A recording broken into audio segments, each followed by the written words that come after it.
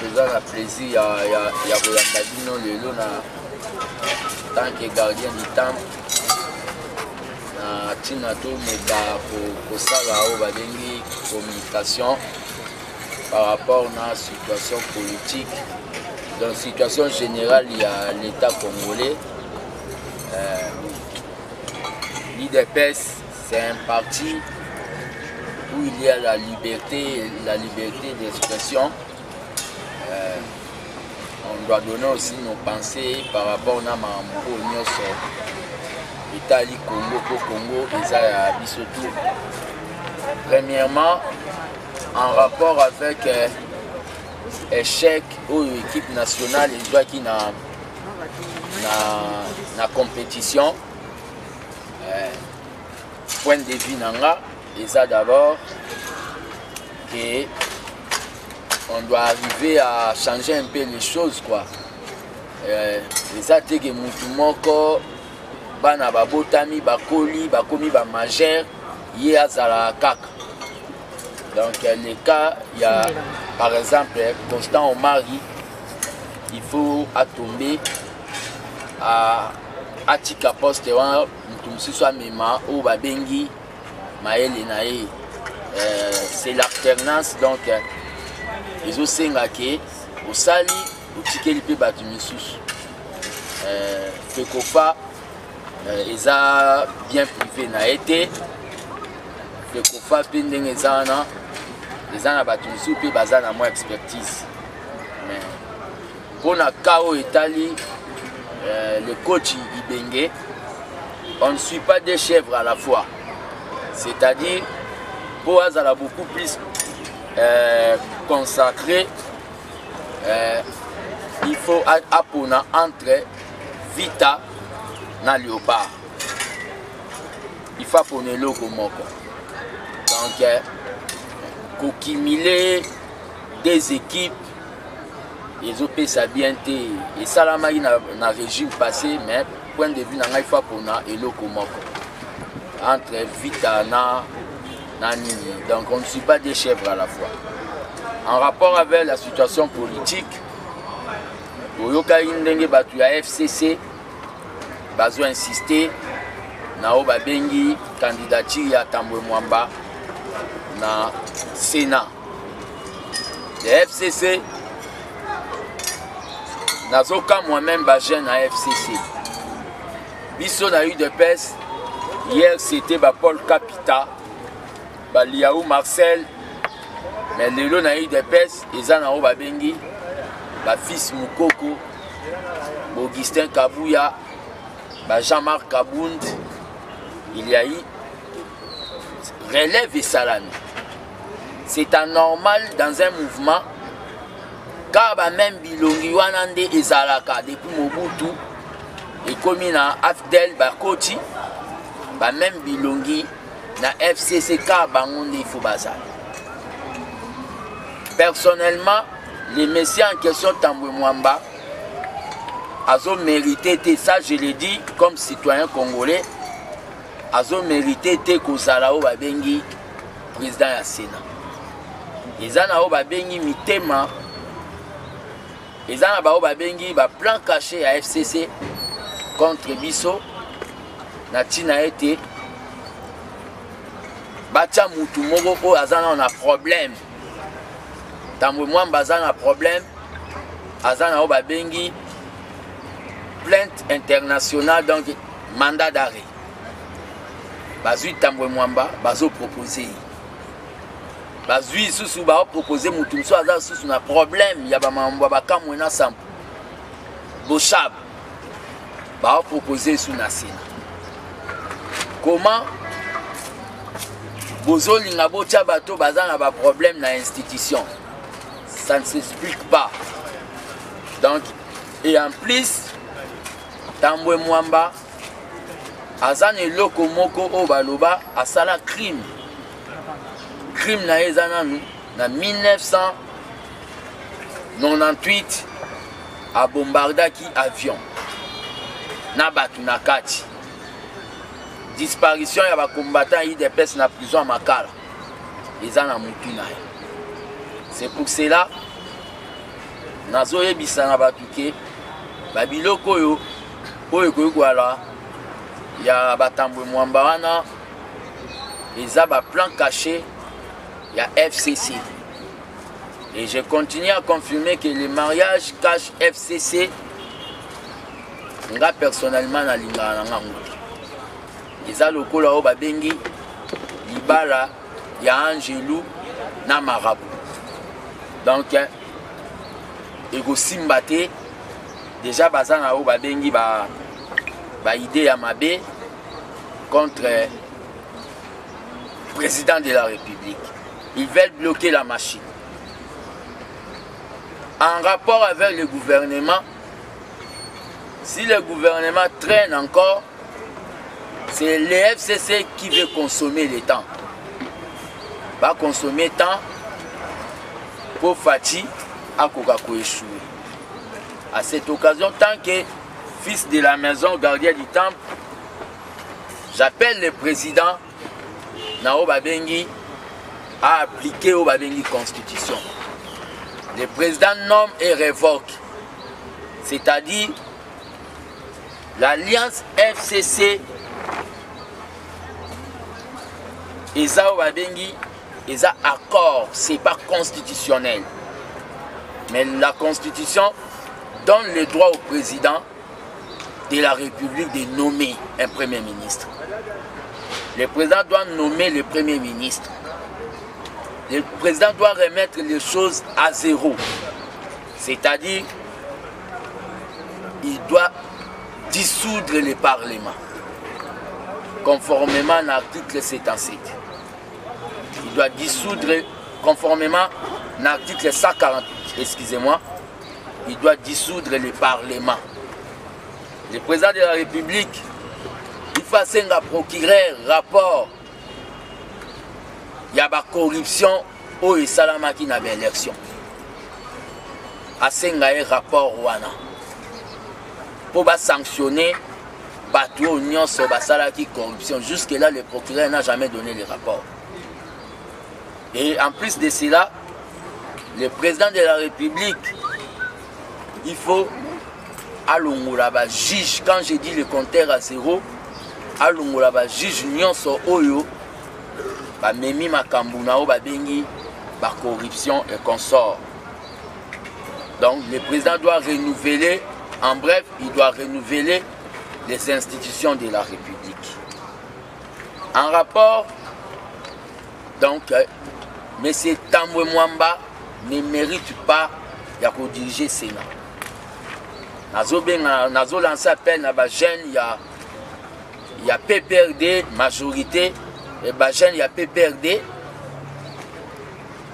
bazala responsable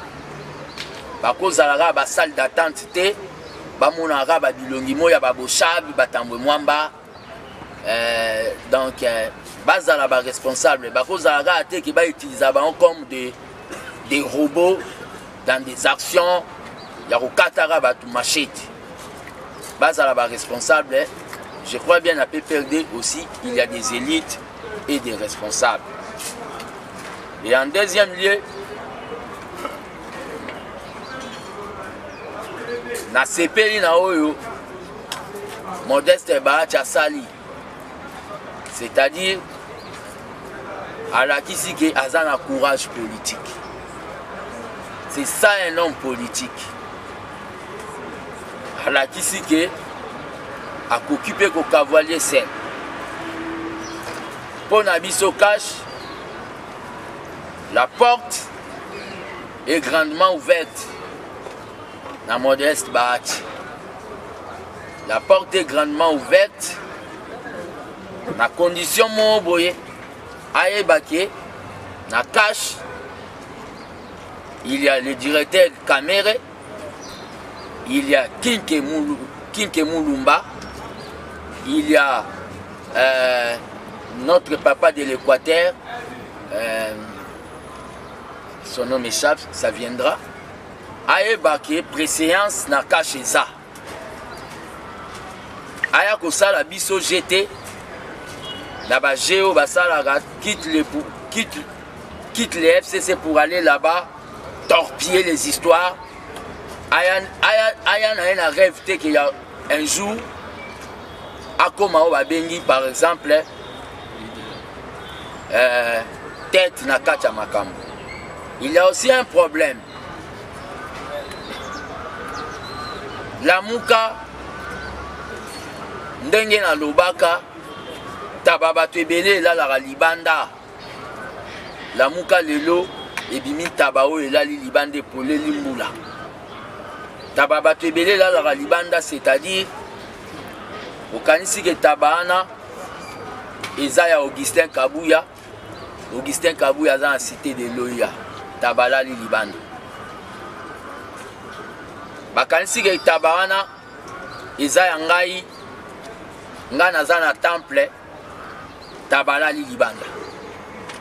bakanisi ke taba eza ya jean-marc kabund jean-marc kabund aza na ensemble taba alali libanda taba bato ya bato ebele elalaka libanda lamuka il faut tozala na prudence nazoyebisaka bato koya ya baati ya bienvenue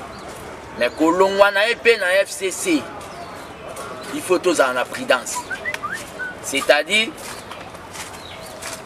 le camp ya fcc bakobimisa bahati neti na opposition na ntina aya kokoma porte-parole ya, ya opposition ils ont des calculs na balaboratoire na bango par rapport na oyo etali sortie ya gouvernement le président doit prendre ses responsabilités Et nous, nous sommes prêts, si le président prend ses responsabilités, il nomme le premier ministre, si les FCC osent, nous sommes prêts à mobiliser les peuples pour te mettre bango hors d'état de nuire. Ndenge président lobaka to déboulonner bango. Parce que bazolakisa mauvaise foi. topesi bango oyo babengi ultimatum sans date c'est-à-dire ultimatum sans délai. Ils vont voir les combattants de l'Udps dans quelques jours dans la rue pour demander qu'il y ait un gouvernement. Le pays ne peut pas vivre sans gouvernement à cause ya bato moko oyo bamona cop na bango bakomisa congo cop na bango ça c'est un point avec l'armée des bâtisseurs tiseredistes oyo eza asbel oyo nazodirige l'armée des bâtisseurs tiseredistes ezo marche très bien toza na objectif na biso tomipesa l'avenir c'est maintenant c'est-à-dire tozobanda deya koprépare baélection municipale na, na basession ya instruction sur la surveillance électorale dans quelques jours na ntina toprépare baélection municipale et locale l'armée des bâtisseurs vision na yango eza nini ke na 2023 fati fazwa oyo babengi majorité écrasante tokose transforme na oyo babengi plateforme électorale c'est-à-dire nous allons présenter aussi nos députés na ntina ete là où peut-être l'idps ne sera pas soki biso armée de bâtisseurs tozwi voix wana tokoya kobakisa yango na udps yango nde nazolanse appel na bato tout mpo na soutien na makambo etali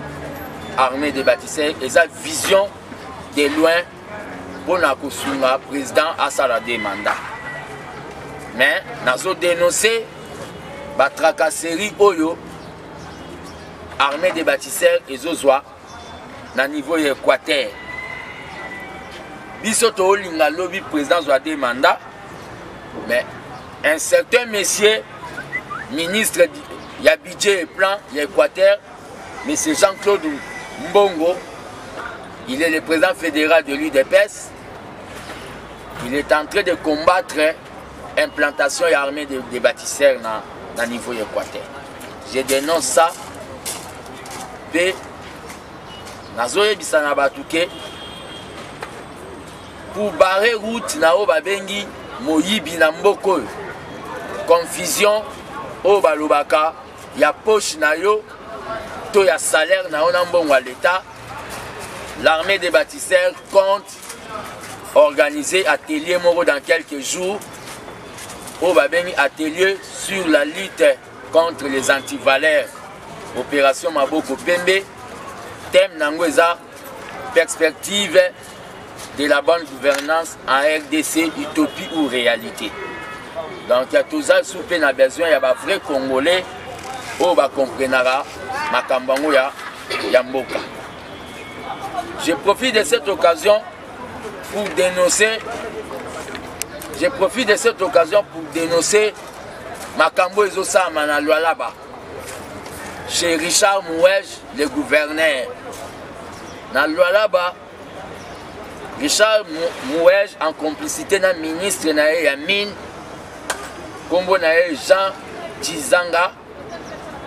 mpe na muteteka ministre ne ya finance bazozwa oyo babengi richesse ya congo babien ya leta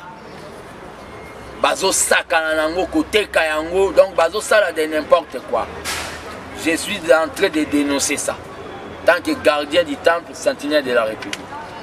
je, je dénonce encore makambo ezosalama na nsele amiral mombonda boregnaka sera bamobutu lelo yo ozokende kobimisa peuple ya congo libanda alala bokokata guerre te na fdel amiral soit disant amiral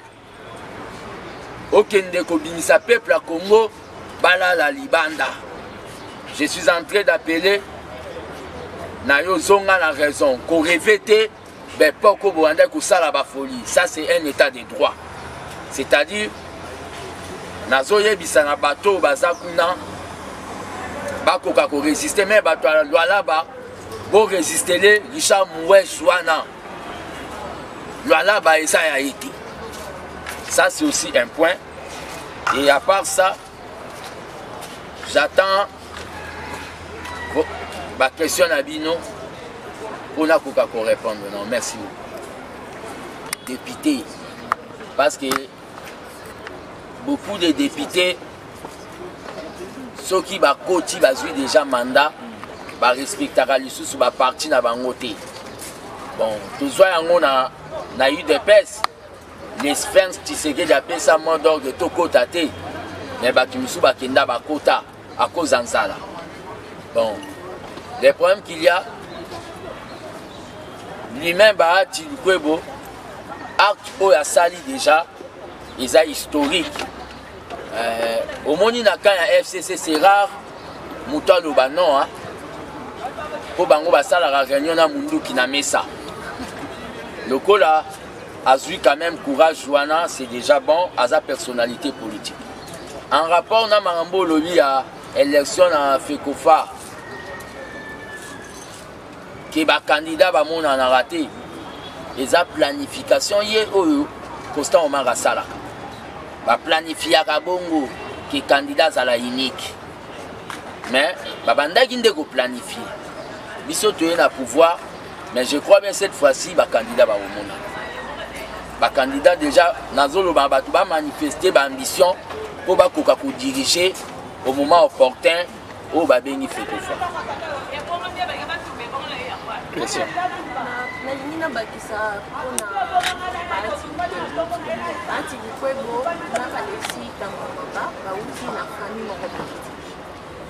bango nyonso moto aza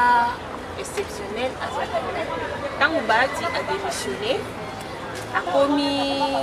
neti exempté de tout c'est-à-dire akomi neti mosantu nde nayoki ozolobela osepeli na ye bona okanisi ke ndenge azoyana azoya mpo na intérêt na ye ou bien mpo na intérêt ya peuple ça c'est Dodo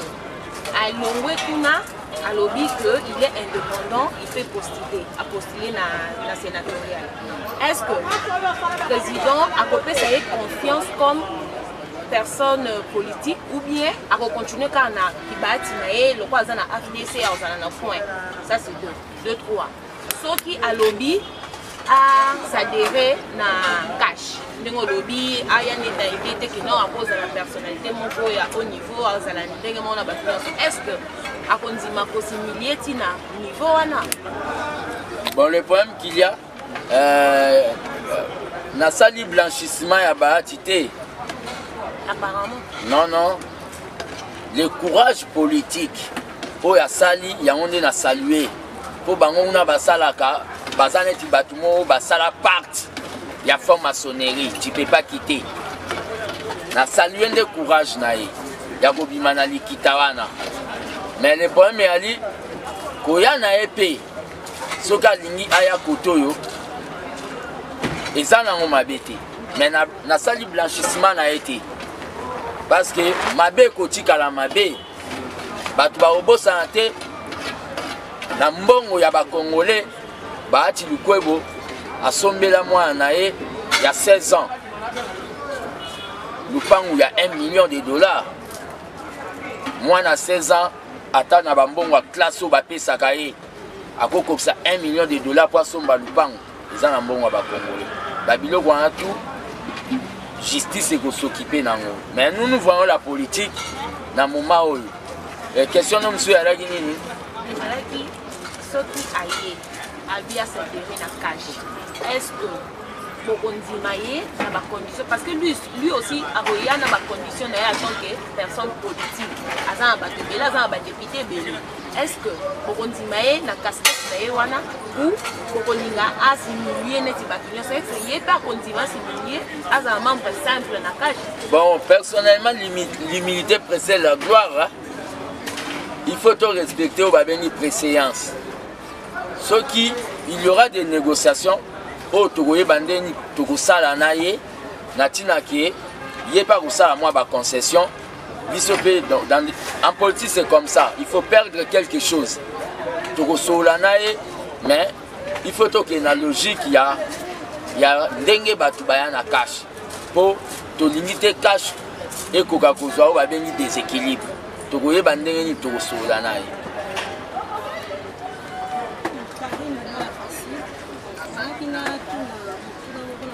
ya bato ya nsele ebongi ke bato ya nsele amiral azobengana bato azobengana bato problème wana ezokenda yongo bato bazokufa bana bazokufa papa bazopike bakrise mpo baza su na kati ya ndako te batieli bango na basoldat na kati solution nini bozwi mpo na ye namoni neti boyebi yango bango baobise komsi baza abandone bozokipe bango Le problème qu'il y a c'est quoi Na nalobi déjà